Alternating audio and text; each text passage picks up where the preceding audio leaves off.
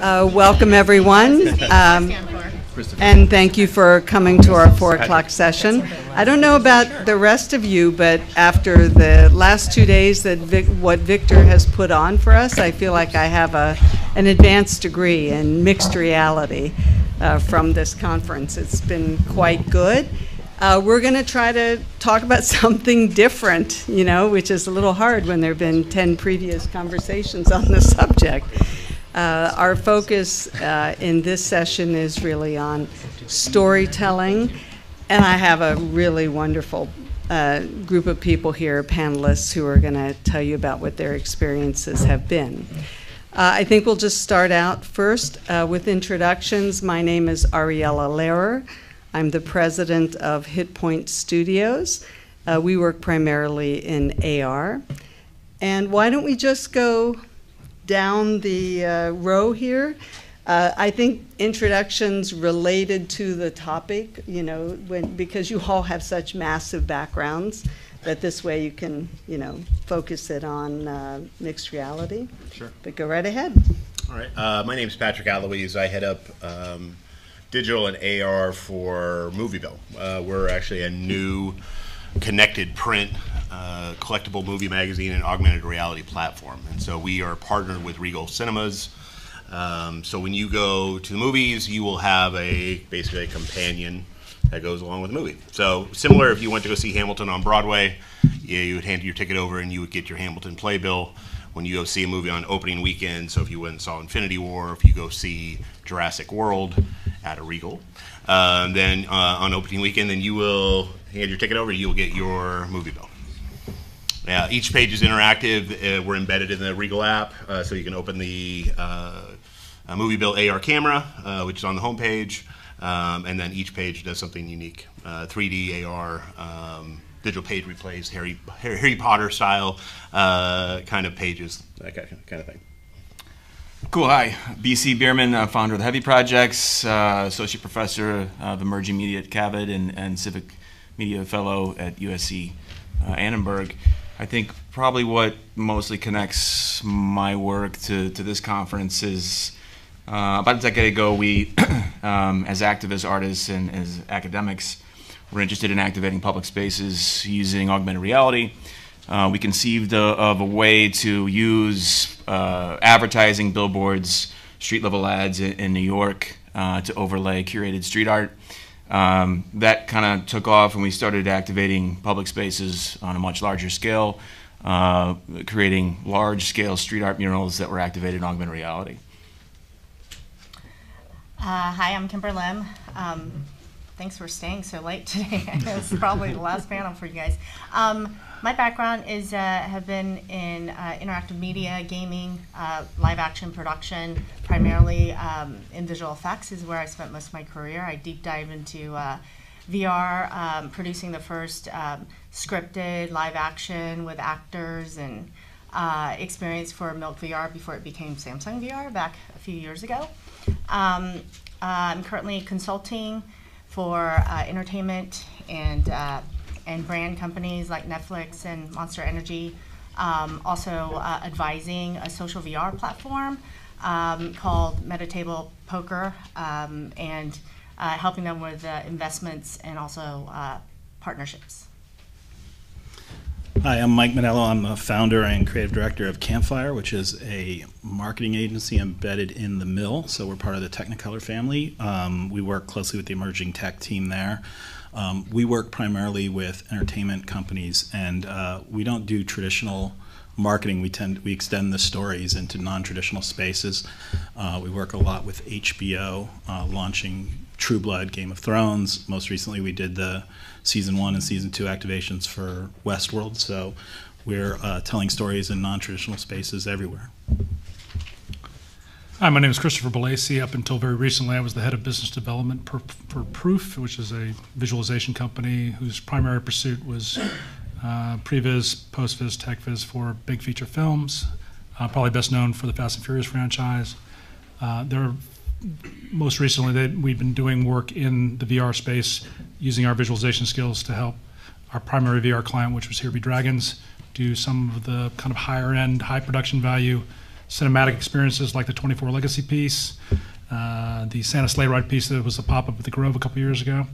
Um, in fact, we we worked on the very first Google Spotlight story, uh, and still to this day the only Google Spotlight story that's a live action piece because of our relationship with Justin Lin, having done um, four films with him. My background is motion capture. My first gig was a little mocap artist on a, a little indie film that Jim Cameron directed called Titanic. Never heard of it. uh, hi, I'm Kalen Ray. I'm the uh, development supervisor at Magnopus, where I see up all of the prototyping that we do and get started on. I, I lead the storytelling teams and engineering and art so that we can uh, get started on the right foot. Couple of the things that we did last year were uh, the CNN VR experience, which is on Oculus, also Blade Runner 2049, the Memory Lab, which is a marketing tie in for the film, and also Coco VR, which was also a marketing tie in for that film. Um, I'm also the co founder of Victory Creative Studios, which is a uh, where we help to create meaningful positions for women and women of color in the film business.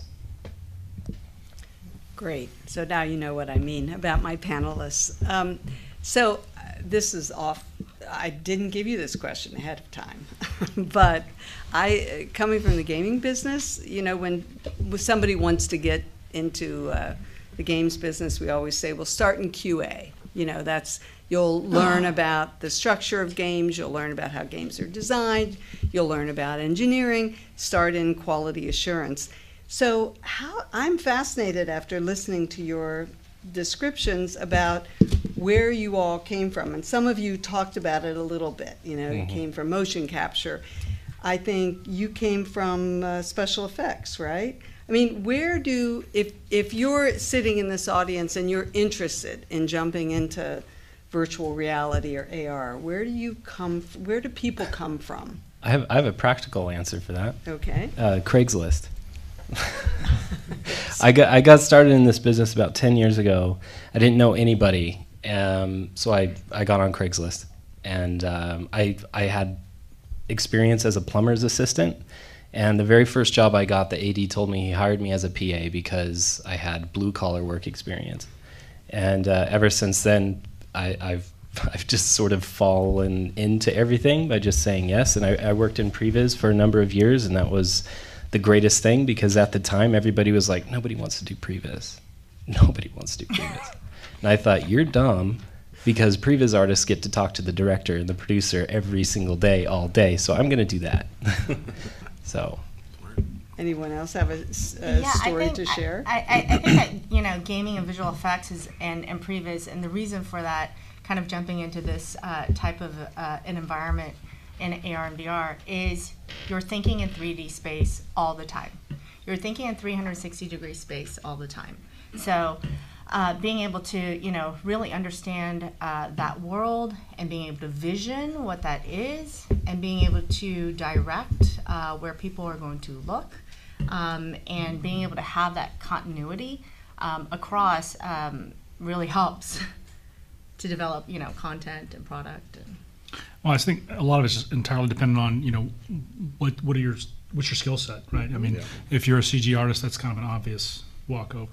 If you're a storyteller, that's kind of an obvious thing. If you know, if you don't, if you're in the business of it, you know, I would say expose yourself to as many experiences as, as you can, as many conferences as you can. I mean, you know, nobody's it, it, this guy aside, nobody's a real expert in VR. I mean, it, there's, there's the Andy Cochranes of the world, if you know who he is. They're they're out there, but most of us learn by doing and by attending these these conferences. And s- I mean, I listen. The first time I put on a VR headset was in the mid '90s. It was that crazy 10 pound counterbalanced headset with the two SGI Onyx 2 reality engines, one for a million dollars a piece, one for each eye to render it. It was a nausea machine, but I, I saw the I saw the allure back then, and obviously now uh, the the the barrier entry has become significantly lower, but clearly not low enough. So I would just say expose yourself to as as many immersive experiences, whether it be VR, AR, location based, whatever, as you can, uh, and and I think that will drive how you want to engage with the medium.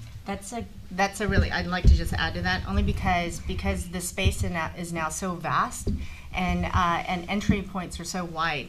Um, it doesn't have to be just technical or you know whatever you've done in the past. Um, you could be you know you could you could be in education or you can be a writer or you can be you know, so so there's a lot of ways to kind of enter into the market.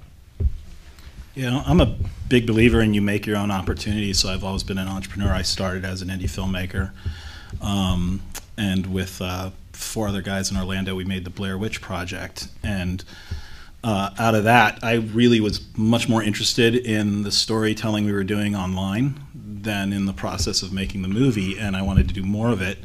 And uh, Campfire, I was actually started as a result because uh, Hollywood still wasn't prepared to invest any money online, but advertising was. And so Campfire actually was just formed purely because I wanted to chase after that opportunity. I thought uh, there's so much more opportunity to tell stories in so many new ways. And, and, uh, and since then, it's all, I've been an entrepreneur just chasing after the things I want to do. Okay. Do you want to? Yeah, just just briefly, and uh, I came not so much with a a skill set approach as is was an ideological approach. Um, I'd been researching graffiti and billboards in Los Angeles and sort of the disconnect between the two, how they're treated legally. Um, augmented reality was a way for us to um, engage and allow artists and citizens to engage in public spaces in ways they couldn't before because they had access now to, to and this is 10 years ago, they had access to, to mobile devices. Uh, so the, for us, the technology really sit on, sat on top of an idea, and that idea sort of still carries us through today. Now the hardware is lagging behind a little bit. It's gonna it's moving to wearables as opposed to this the clunky experience of, a mobile device, and maybe we can talk about UX issues a little bit later. But that's sort of how we came into the the space. Mm-hmm. Okay. Well, since this is a panel on storytelling, let's start with stories that you've told. And I think having spoken to some of you individually, um, there's some, there's some pretty good stories there about what has worked and what hasn't worked in either AR or VR. So thinking of a narrative. Um, Somebody want to start? Stories you've told, the successes and the failures. Um, I'll- mean, I'll kind of jump in. Um, doing a lot of thinking of this as we just launched this magazine because it really is kind of big, talking about a film story that you're having and, and how do you ex- have a kind of an organic extension from that you can kind of take home with you. And so um, I think we've been successful with this so far. The, the data has kind of proven that people do engage very heavily with it. Um, and I think that's in part because when you go to the movies, and again, this is just, I think, storytelling in general is you need to evoke emotion. There has to be a beginning, middle, and an end, uh, uh, and and it has to be something that people can relate to. And so we had, the, in, in you know, with our inaugural issue, we had the, the luxury of having some really high-end IP and some some beautiful artwork that was you know that the studio had created. Um, and so it was it was kind of fun just to really continue to tell the, the same story here, but tell it in the kind of the 360 space. So this is the person sitting in the uh, movie theater with a essentially magazine on their lap. And with using their phone and augmented reality, you're extending the story that they have seen or are about to see on. You're right. And, and so issues of retention with that. Well, That's, you know that's that- always the bugaboo, right, with AR. How many times are you gonna go back to it? How long are you gonna keep the, the user engaged? Yeah, and that, and I think that is. Uh, I mean, again, we I think was really smart up in a set it up in a smart way where we're tracking all the data on the back end, and so we do see. I mean, you see that natural life cycle that you're going to see with anything. It's going to you know you have this big spike, and much it, it probably would follow the same pattern as the film. Um, but what we are seeing is that this isn't something that people are interacting with in the theater and then leaving behind. Um, and if you guys want to see it, I'll show it to you. But it's, it's you know it's meant to be a collectible. It's meant to go home with you. You know, uh, I, I'll age myself by saying, you know, if, if they had these when Rocky Four came out, I would probably still have one in my garage somewhere. So so the idea is to allow people to kind of go into the world of the movie, to kind of unlock the hero of the movie, and interact with them in some way. Um, and and I think that's really kind of the main from a storytelling point of view. I think that's that's what people want. Um, and we see that people are sustaining it. And I think it's probably a little bit of like, hey, check this out, because we are seeing through the week that we are still having you know six figure engagements Uh, so it is sustaining itself. Uh, you know, again, like anything, um, we'll have another issue that's going to come out, you know, and that'll be about Jurassic World. And so uh, maybe the same audience, maybe a slightly different audience, but but nonetheless, it is person that's going to the movies on opening weekend, and so you're giving them content that they want at that time. And, and so I think it's it's easy to tell them that story because you're giving them what they want when they want it. So, so. On the visualization side, you know, we don't tell our own stories. People come to us and we help them figure out their stories. But what we realized very early on is that um, what you see on paper may not necessarily work in the headset. And so what I, what uh, Uh, especially on these higher end projects, you know, it's you can have stuff. I've seen it. You know, people have different approaches to writing stories for VR. It's, it's you know some are traditional scripts, some are a game design document, some are hybrids of the two. I think everybody's kind of feeling their way as to what works best. I, I haven't settled on anything that I think is ideal. They all have their, their, their pluses and minuses. But what we found was an easy way to figure things out was to rapidly prototype what you would see in pre-visit in a, in a headset. And because it, it can, a lot of times we would look at something and be like, that's going to be awesome. And you put it in the headset real quickly and you go, that's terrible. And, and, and one of the things that we help our clients figure out is A, you know, simple things like, you know, is this, are you gonna, is this gonna make you sick or not? Because if the previs is gonna make you sick, the real thing is gonna make you sick. But more than that, is it, is, is the branching narrative gonna work if you, if you choose door A or door B? And even more than that, what we found on, on one of the projects we worked on, unfortunately, I can't get too into it because it was NDA and it got killed. But what we noticed was originally it wasn't. We just were helping them figure out how to make it fun. You know, as constructed on the paper, it looked like it would be fun initially, as constructed in the headset, was not fun at all. But we learned very rapidly. Okay, this is what will make it work, and this is what will make it fun. So, the it's I guess iteration is the key to good storytelling in the immersive realm because you can quickly figure out what will and won't work. I would definitely agree with that. 100%. Yeah, it when we were working on Coco VR in the very early stages, we had a lot of really you know, quote unquote great ideas and uh, right, as soon as we got them in the headset, we were like, our ideas are not great. And uh, so we knew we were going to create this social backend for it. We knew it was going to be a social experience from the very beginning. And as soon as we got the social, the networking part of it ready to go, and you could go in there and you could see yourself as a skeleton, the story kind of wrote itself, and and the experience created itself. You get yourself in another room in, in, a room with another person and you are both skeletons and you just have a mirror in front of you you're both gonna you're gonna create a show that anybody would want to watch it's just it, it's so delightfully uncanny that that you just kind of want to be in there seeing yourself moving and dancing around in this magical fantastical space that uh, really, I think in these early stages of VR, we're just uh, creating sandboxes and having as much fun as we can possibly have within that context. And and it, it's my perspective. Uh, having that be social, you're going to gain. You know, 90% of the work is going to be done for you. I mean, just the hardest amount of work. So. Can you just follow that up with the story you told me about from Coco about directing people's attention? I thought that was beginning at the at the very interesting at the very beginning. Yeah. Well, yeah. So. I, I don't know if we. I don't know if I should call it a problem, but you know, there it is. I use that word. Um, a, a lot of storytelling. You know, when you get back to the basics of of people telling a story around a campfire, uh, you know, a good story is a good story. It doesn't matter what the medium is. But VR is a very specific medium, and some of the things that we use from the current popular storytelling format, which could be film, uh, a lot of those visual audio skills transfer over into VR one to one, no doubt about it. But there's one very critical thing that doesn't transfer at all, which is uh, the the frame essentially the, the composition uh, you know that's what we did in previs we would guide what the user is going to be looking at. The director says i want the i want the audience to look at this person's fingernail because there's like a you know a blood clot on the fingernail. You can't do that in vr you can't force the user to go here to look at this thing and to feel a certain way about it. Or at least if there is, we don't know what that is yet because it's it, you're not sitting there with this passive experience with with a, a screen in front of you that's been curated in terms of the visual impact that that the director wants wants you to have. You've got this sort of theater in the round scenario that's inverted now because instead of the audience being around looking in at the play, the audience is the play looking out at the world, and that's a that's a really odd sort of concept for storytelling. I, would like to jump in. Um, so, how many of you guys are actual content creators and storytellers and writers? Okay, so a majority of you.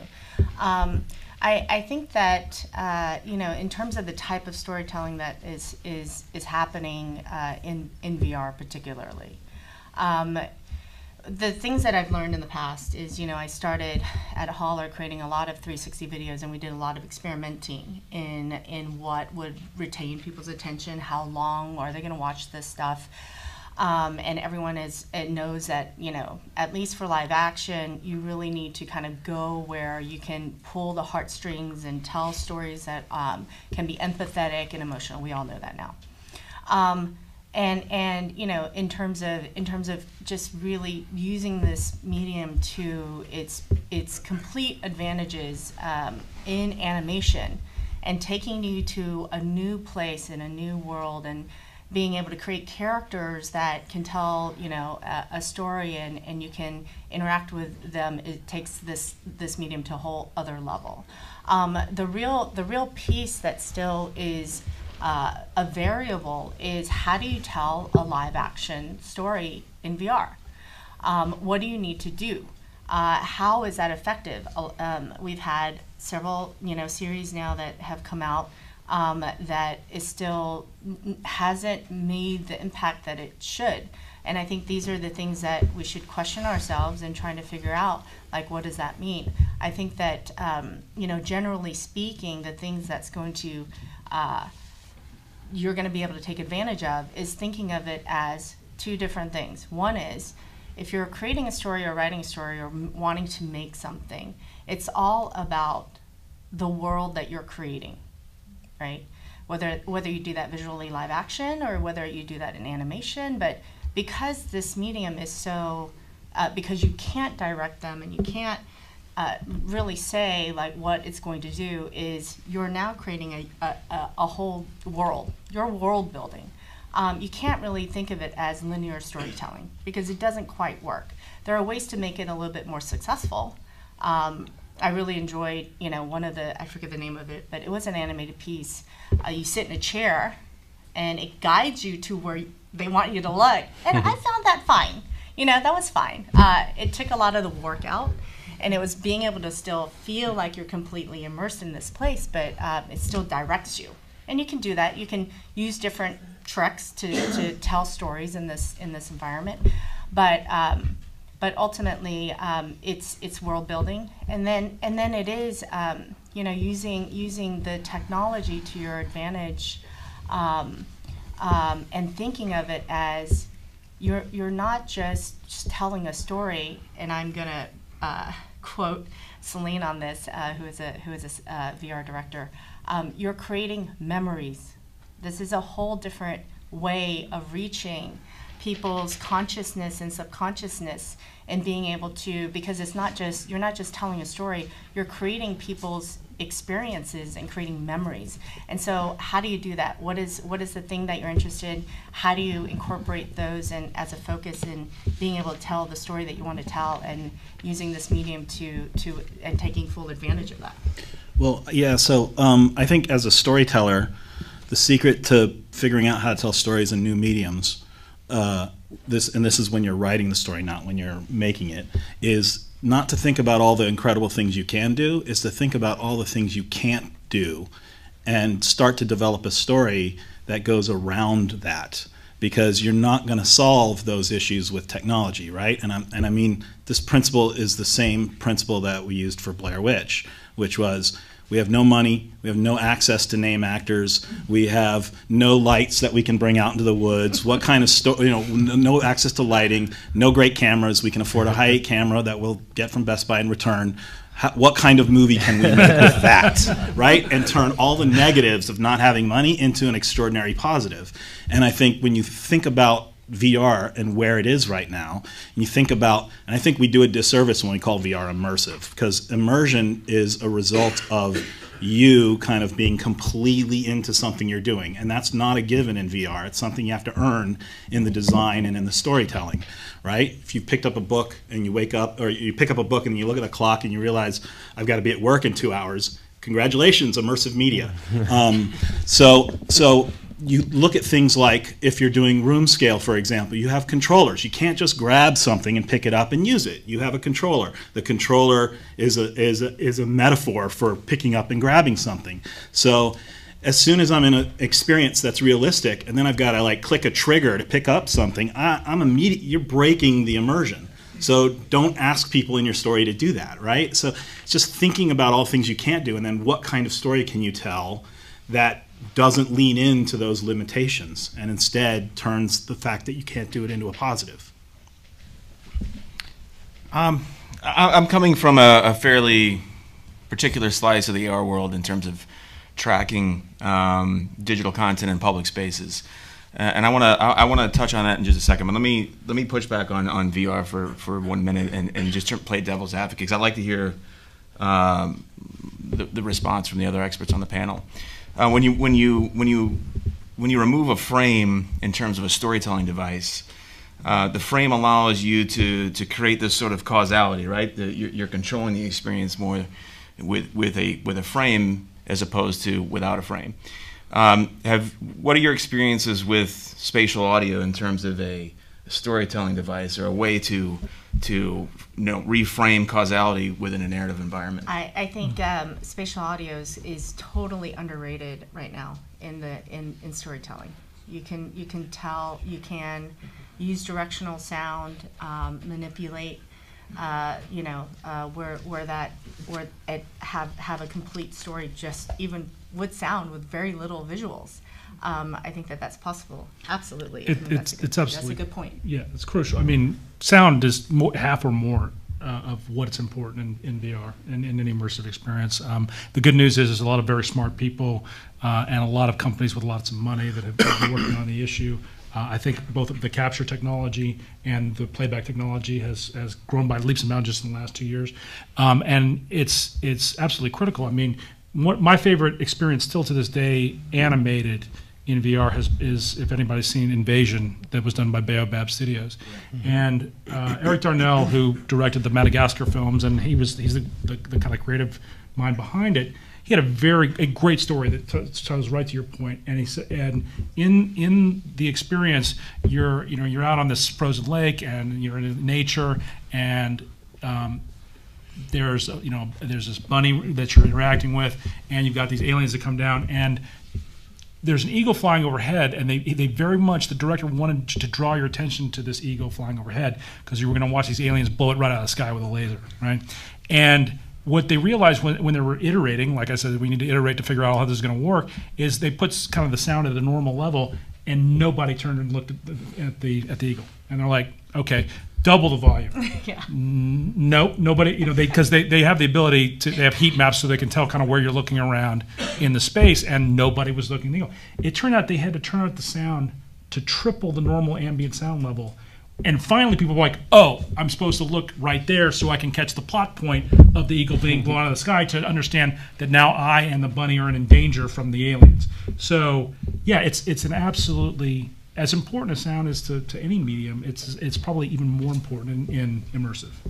And and that's why you know they go from you know 5.1 to 7.1 in film uh, to, to to 11.1 in VR as a standard. Uh, and I've I've heard as as far as 72.1, which is insane, but um, but Bjork did it, and and that experience was overwhelming. but she did. She mixed. She mixed. I, I would say. I think it was seventy two. Anyway, anyway, it was. Uh, it was some uh, enormous uh, mix uh, for this one music video that she put out. Um, Was was that for humans? Yeah.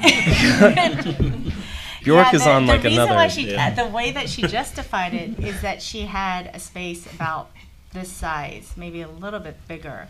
Um, screens as big as um, you know those panels on both sides, and both of them was playing the same music, but two different vid- uh, two different music videos, um, and they, and each video was playing off of each other.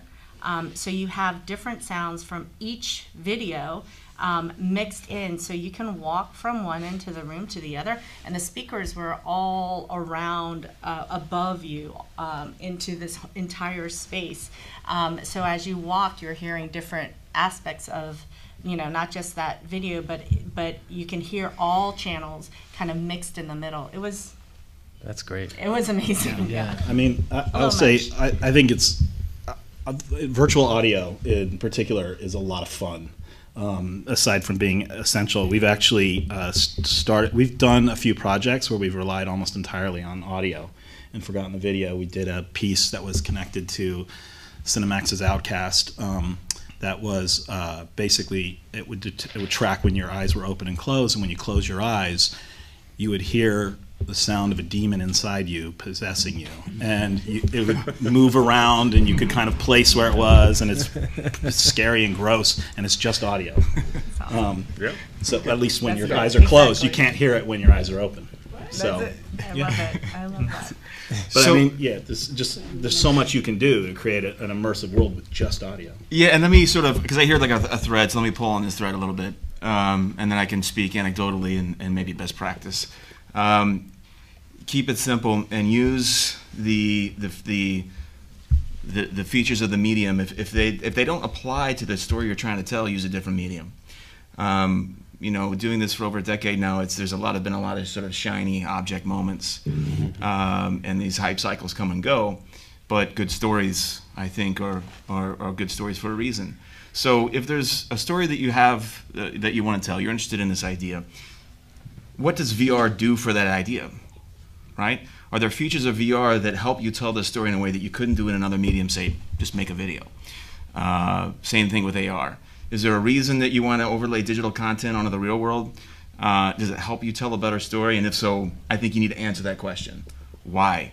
Right? Uh, it's, it's perspectival, right? It's powerful because you're in the space, it's in situ. Uh, that's why we like it. We're not tied to it as a, a technology stack. We're tied to ideas, and this technology has helped us sort of just put these ideas out into the world. Um, that sort of leads me to a, best practices point, and that, that keep it simple part. We tend to uh, overthink everything. Uh, we had a, a project in Miami at Basel for did, did five murals. This is in 2012, I think. Uh, and we thought, man, we've, we've really thought a lot about these. These are fantastic. The client had an issue with one of the one of the pieces, uh, and so we had to basically redo it on site within uh, uh, that day because it was being launched. And then that turned out to be the most successful mural of the lot. Uh, paint pouring out of the mural, people got it, it was visceral. Uh, we kept that one simple, not because we wanted to, uh, but because we were forced to. And I, I'm learning that lesson or relearning that lesson in almost every project. So those two things, in some cases, keep it simple. And the other is, is, is there something in particular about this medium that's going to help you tell this story? If you can't answer that in the affirmative, then maybe it, you need, it's not the medium for you. Uh, Kaylin, would you just, I'm still going to bug you to tell that one story about Coco, Cool. about the, it was a problem, right? That people came into it and were not looking where you wanted them, so you can't even remember the story. Like- People were not looking where you wanted them to look. Okay, I'm going to repeat the whole story. Okay, So- well, I, well, because we had a we had a bunch of tricks, but but I'm trying to remember Yeah, the so what was so specific cool anecdote. to me is that uh, the person is talking, who one of the main characters talking. You first come into the experience, but nobody is looking at the person who's talking Oh, because it's a it's a world. So they're all looking around like this and not paying attention to the narrator. Yeah. So, so this is an example of using sound in sort of opposite. Yeah, right? exactly. I mean, to like jumping off of what BC was saying, what what everybody's been iterating on this on this whole panel is like the importance of sound, and uh, yeah, and so spatializing that audio and making sure that people knew which direction to look. But just because visuals will still fail you sometimes. I mean, if, if you've been into the Coco VR uh, experience, you will see you start off in this room that's called the ofrenda, and there's really only one direction to look where there's another human being, and usually our our eyes are drawn to that, and it, it it's very well composed. I mean, this is straight from the film. They know what they're doing. Uh, I mean, the, the character contrasts with the back of the environment. It's very well lit. It, I mean, for all intents and purposes, you should look that way. But nine times out of ten, people would put the headset on and go, huh? Can I go outside where it's dark and cold? And it was the most, the weirdest thing. And so, but by just having the character wait just a second until, not, not for the user to look because eventually they will scan the ofrenda where the where the character is, but then they'll just move right along and start looking at the walls. For whatever reason, I, I, I still it boggles my mind. Um, but just having the main character wait to start their narration a bit, just let the user sort of. I mean, they're they're in a fantasy world, and you we forget because we do it every day. We're probably all like in the top 1% of VR AR users in here. So so we take it for granted completely. And then you throw somebody in who's never been to the land of the dead and it's really overwhelming. I mean, you talk about the reason for this medium in particular to tell this story. It's VR takes you to places that are either too expensive or too dangerous or, or impossible. And that's exactly what we're doing. And when you start the story right away, they're going to miss the first part of it because they're just overwhelmed with everything that's happening. So, uh, to tie this back into the audio thing, um, we use that spatialized audio to just add these little, very, very subtle, like knocks and, and ticks and pops and things that are ambient in the direction that we want them to look. And we use that a couple of times throughout the experience. Um, and that on top of really just giving the user a minute to, to soak it all in. I, and I'm wondering, maybe you can, uh, all, all, of you can speak to this, uh, that will change over time as it becomes less novel, right? so probably. Once, I mean, once people are accustomed to having VR experiences for a variety of Right. Yeah, yeah. I, I used to get kind of nauseous when I get it. I mean, I still like one of the first things I prototyped. I was like, uh, we were prototyping for uh, Disney Movies VR, and I thought, hey, when we when we switch from this land to this land, wouldn't it be great if the whole world just like rotated like this? and I, it sounds it sounds so innocent now, and uh, so I put it in there. I pressed the button, and I fell down. And then when I got back up, I was like, all right, I'd learned something today. Dear diary. Um, that, that's, what, that's why best practices, if you're going to, we always had a rule that if you're going to look at something new in the headset for the first time, you, you, you, only, you only got to, you would have to do it sometime between two and four in the afternoon yeah. because, because if it, if it, if it gave you a driving, you know, motion sickness headache, yeah. we wanted to give you, A, we wanted to be post lunch and B, um, we wanted to make sure that somebody had their camera. Well, no, we want to make sure we want to make sure that you had enough time to recover so you could actually drive home. Oh, okay. So That's yeah, so so best yeah. practice was you know give yourself some time after lunch and before you have to get behind the wheel of a car to check yeah. out you know new aggressive content. That's good. Uh, but I mean now, I mean, fast forward however long it's been, two and a half, three years. Now, if I'm in some app where you know there's relatively free rotation, I can do that for a while. And so it, it's really just a matter of like building up your resistance. And so, I mean, like when the first first-person shooters came out, everybody was getting nauseous, and now nobody really thinks about it anymore. Or like, so. or like the, you know, the or Blair first, Witch. well, yeah, Blair Witch. Um, but also like the first movie, you know, like when people yeah. people in theater ducking from a train. Yeah, that and uh, something that's changing recently, which is breaking the line. You know, that used to be a big deal. It's like, where am I? I don't understand. But now people are like, no, you can break the line. I still know what's happening. Yeah. Yeah, and not so much the na- the nausea effect, but the like the invariant right when people enter stores. Is there a conditioned response when people enter a VR environment that's knowable? right? Will that develop over time? Have you have you guys you know have you noticed something that okay there's something that people do consistently when they enter a VR environment that's that's trackable that, well, that can be either right encouraged or discouraged or I'm just well, curious. Like, like, you said, well you get you get what's called your VR we call it your VR legs like getting your sea legs. So you you as you experience more and more stuff, different and variety of stuff, you do. You get used to, you almost attune yourself to the way the whoever the creator, the storyteller was. You know, you, you're you're you pick up all the subtle cues that. Look, we know all the anarchists can look at their freaking toes through the entire experience if they want to. you have to, when you work in that immersive environment, you have to give up, you know, total control. You know, that's why a lot. That's why the best VR directors and creators are not film direct, current film directors, right? Because they're used to this mm-hmm. and and curating absolutely everything about that. You know, when you when you do this, you have to give up some control, and and the, I think the people that are going to be the most successful and the best stories are the, those who embrace that. That like, look, eight, 70, 80 percent of the people are going to get what I'm trying to pick up, but I have to be okay that twenty percent may not. You know, Yeah. and that's just Well, the that, it is. that, that's a question, and I'll kind of pose it to you guys because my background's been almost exclusively AR, so I can't. I mean, I, as a user, I know VR, and obviously with ARKit, really want to try to understand that because I think that that's maybe a way you end up translating it uh, in some kind of more 6DoF kind of way. Um, do you guys feel? ob- I mean, has there anybody tried to play the empty space? Meaning, do you feel obligated to lead them through this experience? Because if it's a world, you let them discover the world on their own, almost like populate it with so much content that you never would be able to consume it all. Like there's something happening over here, at the same time something's happening over here It's to cause them to come back. Like It's, the, it's whatever story, what is story you're trying to tell. I mean, I'm just curious, like if you guys have you know been able to track or you know with the stuff that you've made, if if uh, if you've seen people come back, like if you give them content that they know they missed, have you? I mean, I just don't, I just don't know if an experience personally that that- Sure, there- that there- story was like that. Yeah, I mean, there, there, if you do a story well enough, you know, in, in 360 or, or immersive, you, you, they, it should have, it should absolutely have repeat play. Yeah. I mean, you should want to, you, you would encourage people to come back and try it. You know, let's, you know, I, I kind of focused on this throughout. And the truth is, you know, one of the things that we struggled with early on, especially with the Google Spotlight stories four years ago, was the, you know, all the cinematic language that we were used to when filmmaking out the window, right? Yeah. So, uh, this is the direction we, you know, Justin would be like, I, I want, I would like them to go this way. I know they can look that way, but I would like them to do this Right. way. So we, it was a combination of story and how can we gently move camera to kind of move the story along. Yes, you can look anywhere you want, but this is, so we call it the, the hero view or the privileged view. of, Okay. This is where we'd like you to look. You can look anywhere, but this is what we're, this is what we're shooting for kind Right. of thing.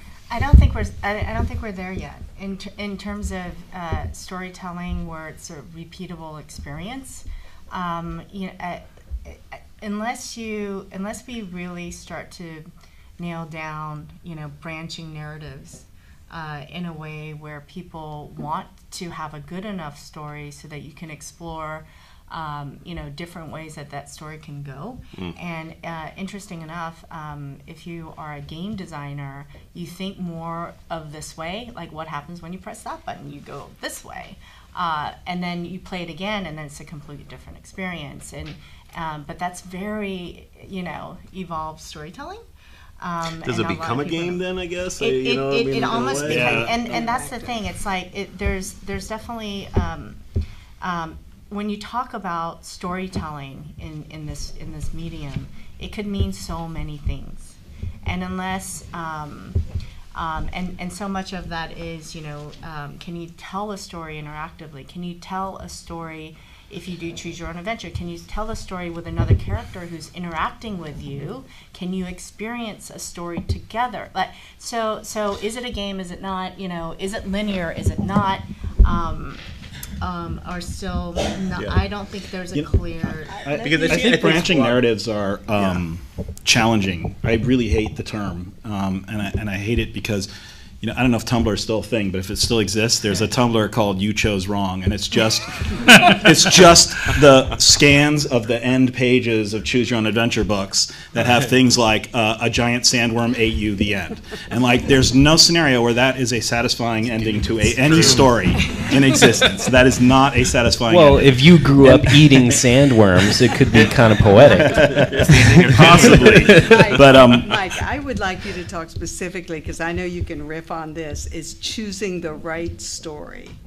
Well, yeah, it is choosing the right story, but I think when you think about branching narratives and you think, okay, are you are you making a game where people are making material choices, right? Which is a game because there's a there's if there's a fail state, it's a game. It, uh, it can tell a story and you can get a story from it, but it's a game, and you should be following game design principles. I think if you're telling a story, then you've got to think about. I think the, I believe the person in the in the headset and their relationship to the characters, right? So I think one of the things we learned, uh, trial and error, is that uh, when we, we when we tell branching stories, we actually think about different variables other than like should telling the character what to do. So we created in one system what we called a trust variable, which is like in this story there were two characters in the story and you, and the way it would work is that you'd have these interactions with the character, and if the character trusted you, they would change they would change how they acted in relation to you and in relation to the other person and uh, the other character and vice versa. So you had an infinite variety of ways the story could go and it was about your relationship with the characters rather than making material choices. So as a, somebody experiencing it you always felt like you were in a story but the story was completely adapting to how whatever choices you made in terms of the relationship of the characters if you wanted to go uh, Gonzo and make them both hate you, uh, the story would go one way. If one of them hated you and the other one trusted you, uh, the story would go a different way. And you can create gradations of, of, those variables. But that's where you start to get into, I think, stories as opposed to games, even though you can have multiple outcomes. So I think you really got to get, we really got to get past the idea of branching stories as choices. Because I think once you ask people to make choices in a story, you're you're eliminating, you're taking away immersion, you're taking away story, you're putting them in a different psychological mindset. And I think that, and to, to segue from that, I think that's exactly where artificial intelligence is going to find its footing inside storytelling, yep. right?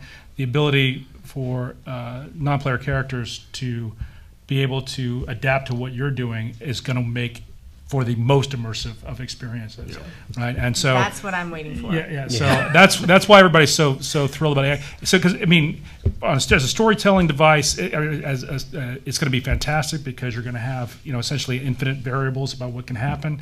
Um, as a technical tool to help us create the content um, at a higher level of quality and quicker and cheaper. Um, you know, our artists will use artificial intelligence to quickly QC what they're doing, to iterate quickly. It's it's a it's a real game changer in the next mm-hmm. five to ten years. Everybody's worried that AI is going to replace artists. That, that's not going to happen. But at least in my in my opinion, I think it's what's do is going to give us better tools to actually create with and and be more efficient about it.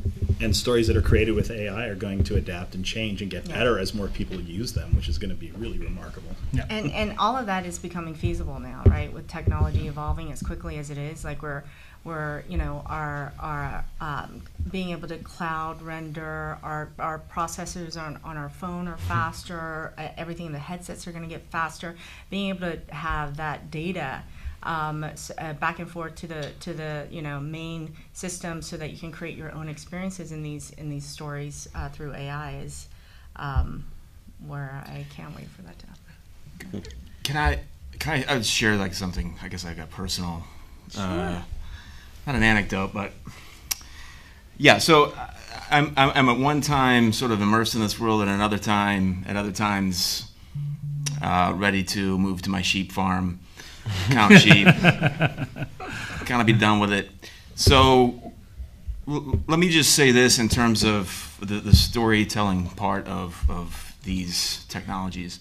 The yeah, AI can open up new, rich new worlds. At, some point, maybe we're just creating a canvas, and the story plays out on that canvas. Um, but there's something very human about stories, right? We're imaging creatures. We learn as kids through simple stories and parables. There's something to that very simple narrative construct that reaches people on a level that, right, nothing else can. Uh, I, I don't have a silver bullet as to what that is in terms of how that silver bullet might run through these various technology stacks. Um, however, uh, we, we draw from a very rich uh, experience with regard to the humanities.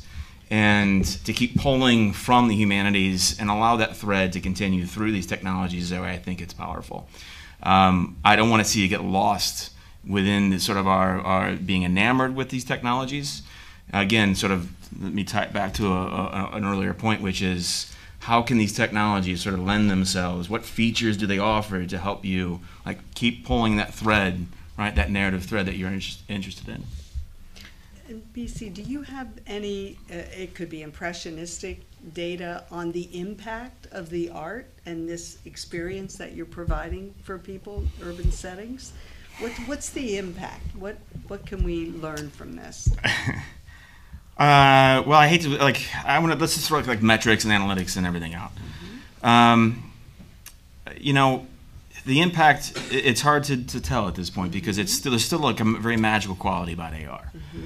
Right? People look at this piece, this large public piece. It comes to life on their phone. Like you know, people sort of still do this.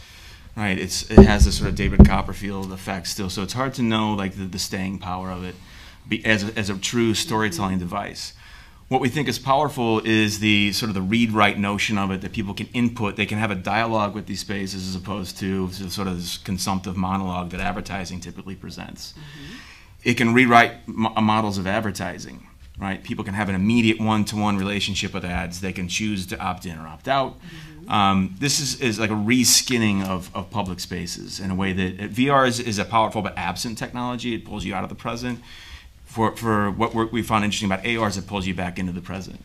Um, it encourages people to go out and interact and, and engage outdoors in public spaces, in city spaces. That's what we find really interesting. This notion of an active citizen that it can precipitate. Um, so I, I don't have a, a great answer in terms of like what are the real sort of social, what's the real social staying power. Let me just tie it up with this in terms of where it's going, uh, and this may be true with VR too, but this notion of AR in the cloud. So again, the, the city becomes a canvas, and the story plays out on that on that canvas.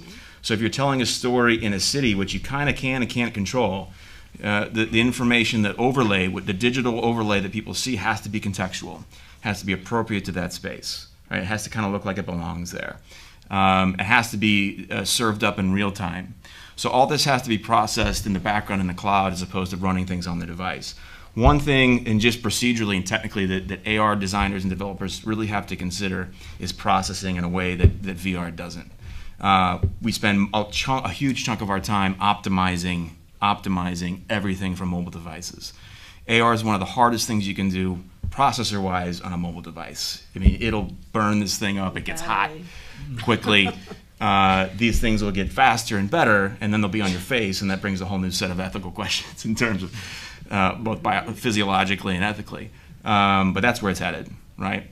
So contextual, serve up information in real time, uh, and then let the user sort of explore that environment, uh, and the to- story can unfold within it. I think the the truism that for us, for those of us with a visual effects background, we always, you know, kind of a, an axiom of we always say that great CGI cannot save a bad script, right? Uh, it's a, that is a, that is a truism that every big budget flop you've ever seen, you know, it was, looks gorgeous eye candy. It can't save it. You know, we like to say we can't save a bad story, and and the same applies to the immersive media as well. You, know, you can have the wonderful tech and beautiful visuals, and all this stuff, and if the story isn't any good, it's it's not gonna it's not gonna stick with you, and it's not gonna be a good experience. So, you know, uh, as my friends at Lightsail VR say, their, their their motto is story first, and I think it's absolutely. If you, if you take nothing else away from this panel, that should be it. Is that the story is everything, and everything should be in service of that, and not the other way around. And if you have a good story, the opposite of that is true, where where a lot of the tech and the flaws and things will be forgiven, because you you believe in the in the in the story and the char- characters and that experience. So. Any other best practices before we open it up to questions? A few best practices, like Kaylin, I know you have a couple. Uh, don't rotate the players. That one already. yeah. Um, make stuff move. Really, make stuff move. I mean, you could totally forgive the visual fidelity of something, the material of it, if it moves in a in a lifelike and believable way. This is the exact same thing that Pixar gets away with.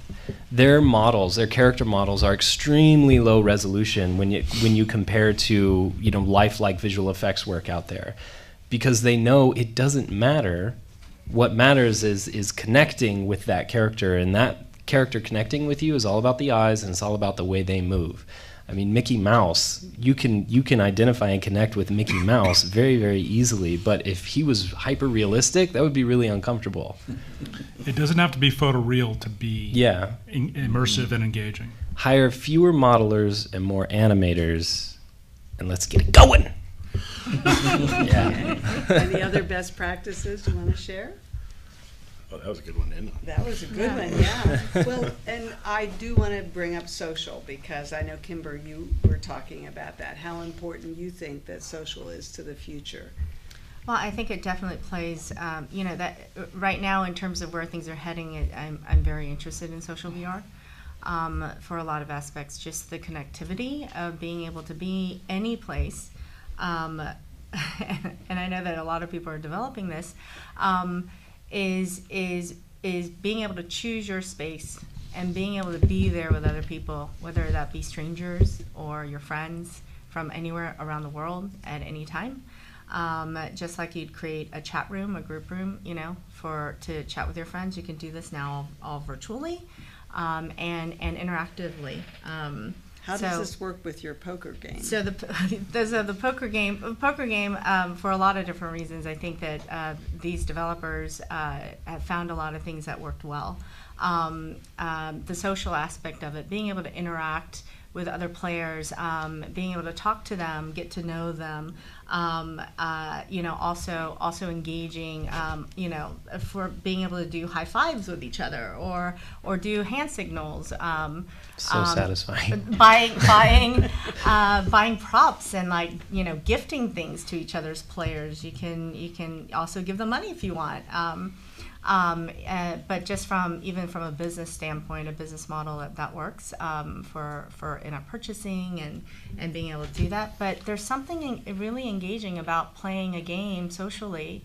Um, and looking at each other, even though it's in avatar form, um, and being able to engage in that way. And their retention is amazing. Um, on average, every player would play, you know, two hours um, when they engage on, uh, and then on the weekends, some players would play up to six hours. Uh, that's an amazing thing to be doing in a headset. Yeah. Uh, it's it's Ready Player One type stuff. Those are those are pro numbers right there. those Yeah. are those are some big numbers, and you know that that is meaningful. That that that says something. So designing a social story in VR could Mm-hmm. be super interesting, where you're experiencing it with other people. and- That's right, and there and there are more. Um, the the idea that hasn't necessarily been cracked yet, but but we're getting there in terms of being able to have group type um, plays. You know, um, like the escape room type stuff, or like environmental games, where you can explore with your friends. Uh, a whole vast landscape, ride rides together, um, you know, uh, get points to do things and work as a team to solve a mystery or problem or a game. And um, those are those are really fun to do with your friends. Okay. Do, do we have any questions? Yeah, sure. Yeah, uh, Matthew, is it? Uh, Patrick. But I, I would play Matt. He couldn't come out. Okay, you said Matthew, but.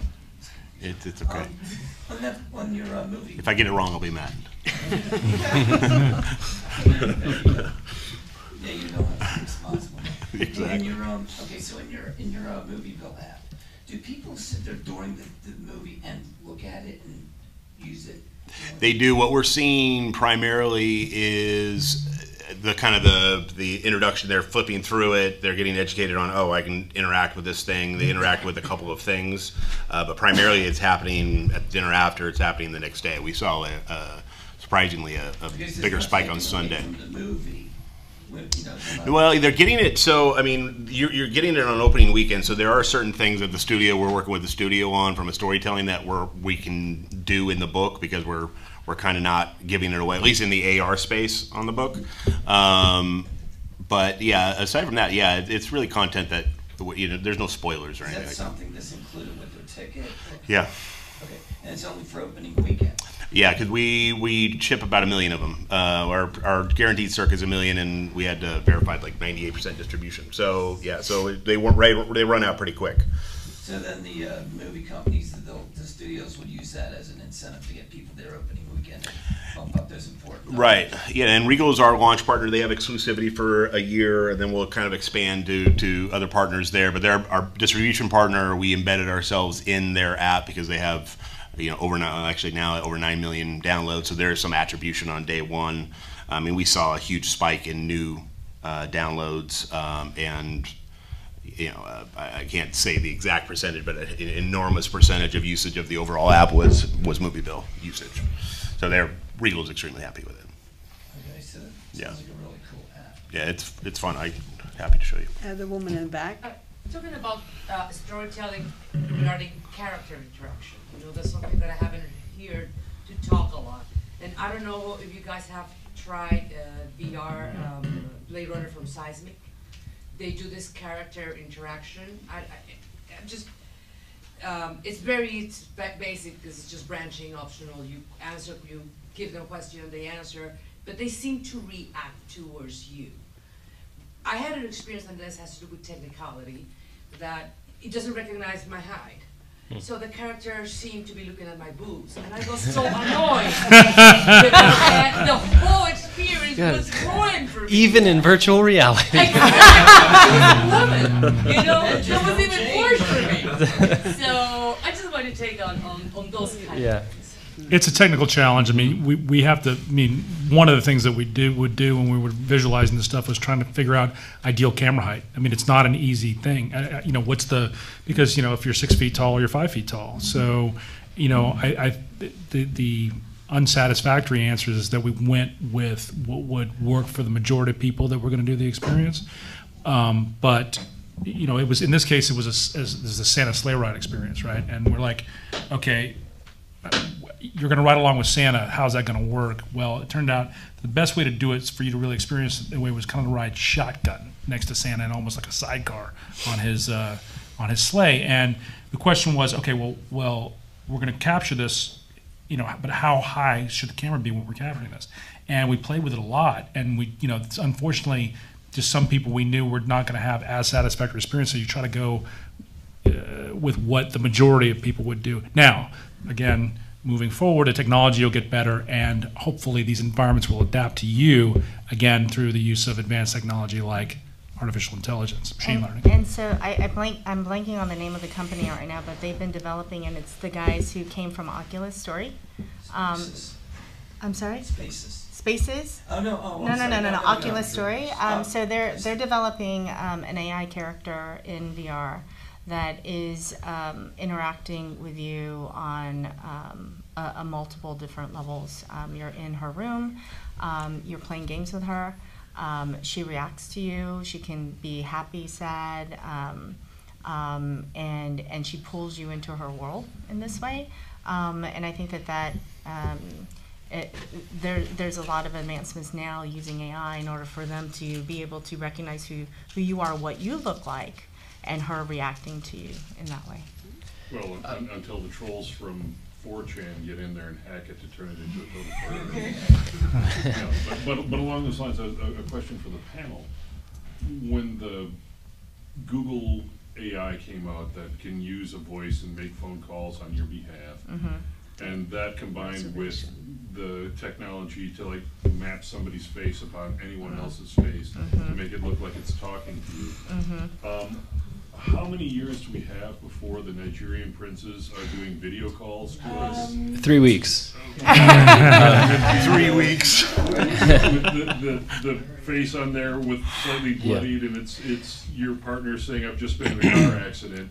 Uh, the hospital needs the. uh, The, the technology already exists. I just saw a white paper on it yesterday, so let's Yeah. It's here, let's but- embrace it. So what? So we have. I'm sorry, I didn't mean to step on you. No, no, no, that's Okay. totally fine. Uh, uh, but Yeah. yeah, the, what we have, but but the but the counter argument is is we have AI for good, right? And we have so the irony is is that obviously it's a technology can be used either way. The truth is the best way to counter all the stuff you're talking about is going to be with artificial intelligence that will let us know that this is not real, this is fake, and it'll be an arms race between you know how how how uh, photoreal and how what the fidelity level is of the false image and your AI checker of yeah I don't know, we know that this is being generated by a computer and it's not real. And it's hopefully the good guys will win. Hopefully the future of AI is more um, Cortana from the Halo games and less Skynet, but that's that's the that's the challenge we face, you know, in the coming decades. But that's what's, but that's what's really important. That's it, yeah. Yeah. Um, in terms of, in terms of all the, all the AI and the, ag- and the algorithm that's being created, um, in, in, in being able to create that, I am so happy to see such a diverse, uh, you know, group here, because it's gonna be important for all of us to play a role in that, uh, to make sure that, uh, we, you know, we, we help direct what the computers are actually computing. It's gonna be important for us to be actively involved. One more question, and then I think we're done. Um, I wanted to go back to when you were talking about making the VR experience of when we could all be with friends or family, uh, traipsing through the Amazon rainforest or the Grand Canyon. Do you imagine that as something where we could all be in computers at different points of the world, or is this Yeah. something we'd be in the same room? Um, no, no, no. You you can right now the social VR experiences are becoming cross-platform, meaning you can be on a Rift on your computer, you can be on Oculus Go, you can be on Gear, and be in the same environment anywhere in the. You can be your at your own houses anywhere in the world with any device um, and have those family vacations together. you Right. actually could. You, you can sort of experience the, the same thing that you're talking about right now in Coco VR. You are skinned as a skeleton, but you can imagine if you had any other uh, avatar system in place, you could dress yourself as that person, and you could present yourself, at, you know, to your family, and you can exist in whatever environment there is. Uh, it's funny because when we were developing Coco VR part of the development was working with Pixar Studios, which is in Emeryville, and Magnopus, which is in downtown LA. So once we set up the social part of it, we were all able to log in to the same environment and see ourselves as skeletons and talk to each other in real time and gesticulate and, and, and go like this and nod and do all of these things. It was like fun. video conferencing on crack. It was awesome. and it was just like So you were actually communicating? Absolutely, Yes. one hundred In percent. your I, we've got tech scouting tools. We can take pictures. We could take notes. We can do all of these really awesome things that were that were like very important in in creating this in a way that was familiar for filmmakers. But it's also just like there's a reason why we have those tools and those processes and those methods in filmmaking. It's because they're very efficient and they make a lot of sense and they're very clear. So we just ported those over and and everything's Gucci, baby. There's something, there's something Can to I- said for making content for VR in a VR environment. Mm. There's, there's a, there's a freedom there that, that doesn't exist when you're putting it on paper or in 2D. And if, if I can just say one other thing, because I'm, I'm a, a, a producer from a filmmaking, uh, point of view. And every time I've seen VR experiences where they're about telling a story or they want us to be somewhere, I haven't been able to make that journey or enter into that world. But when I'm, what was the one where I was at, where I was on the cliff? Honestly, it blew on my neck and I freaked out. It was so real to me, so that, mm-hmm. that kind of VR experience, you know, I think that's really where most of this is, will go, where we can go, you know, do mm-hmm. something frightening we wouldn't do in real life. That's correct, you know. Yeah. Can I can just jump in on the AR front just real quick, because you're talking about something communal, right? The, the shared experience. That's been one big knock on AR, that it's it's siloed to a device. We're we're, we're working on a, a game where one user can leave it behind an AR environment locally for another user to to. To u- yeah, to pick up on, um, so that that sort of shared community, right, is, is again back to this this notion of humanity, this human touch that I think is important one thing about ethics, because I, think I, I've heard it bubble up a few times. There's there's several good initiatives, OpenAI, AI for Good. There's another one that I'm involved with with the IEEE called Ethically Aligned Design, um, uh, that that is coming out with a with a paper I think uh, this this fall. So there's some good stuff going on out there on the ethics side. That's great. And on that note, let's give it up for the panelists.